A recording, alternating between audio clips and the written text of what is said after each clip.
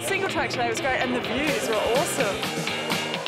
It was just amazing. Just let the brakes off and have some fun. Got a really good taste of Newcastle, both the beach and also the vineyards as well. It's been a great four days.